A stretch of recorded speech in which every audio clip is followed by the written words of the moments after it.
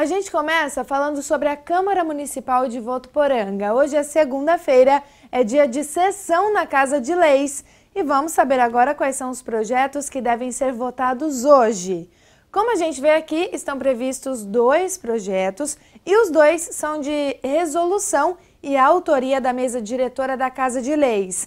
Um deles é para instituir a ouvidoria na Câmara Municipal a ouvidoria né, como um meio de interlocução com a sociedade, sendo um canal aberto para recebimento de solicitações, informações, reclamações, sugestões, críticas, elogios e quaisquer outros encaminhamentos.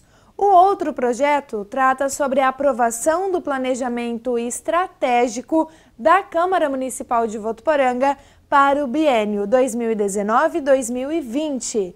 Segundo a justificativa do projeto, o plano estratégico terá a missão de oferecer no Poder Legislativo um espaço democrático e participativo, fiscalizando os atos da administração pública municipal e legislando em prol de uma cidade mais justa, sustentável e menos desigual, bem como aproximar-se da população por meio de uma gestão transparente e contemporânea.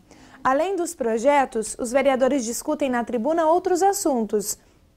E por isso é importante a participação de todos os munícipes para saber pelo que os nossos representantes estão trabalhando. A sessão tem início às 6 horas da tarde e é aberta a toda a comunidade.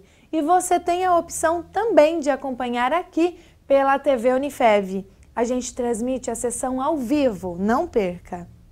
E falando ainda em Câmara, na sexta-feira à tarde, os vereadores se reuniram no plenário para a votação de um projeto do Executivo em regime de urgência. Foi a segunda sessão extraordinária do ano. Vamos ver. A segunda sessão extraordinária do atual ano legislativo durou cerca de cinco minutos. Os vereadores foram convocados para votar em regime de urgência um projeto de autoria do Poder Executivo sobre o Refis, o Programa de Recuperação Fiscal de Votuporanga. O refis começa na segunda-feira e havia dois parágrafos da lei um pouco confusos. Então nós tivemos uma reunião com o chefe do Poder Executivo e resolvemos revogá-los porque dizia respeito ao pagamento de custas processuais, despesas processuais e honorários advocatícios. São questões bastante técnicas, mas que diz respeito ao contribuinte. A custa e a despesa processual ela é paga diretamente pelo contribuinte no Poder Judiciário. O contribuinte se desloca até o fórum e ele vai receber uma guia para pagamento é, quando acabar o parcelamento do débito. E os honorários advocatícios, nós fizemos algo melhor para o contribuinte. Atualmente ele tem que pagar os honorários junto com a primeira parcela e agora ele vai poder parcelar os honorários junto com o parcelamento do refis. Então esses parágrafos ficaram um pouco confusos e eram muito técnicos. E como dizia a respeito a despesas processuais, isso o contribuinte vai procurar, por orientação da prefeitura, o próprio Poder Judiciário depois para pagar. Então foi basicamente uma.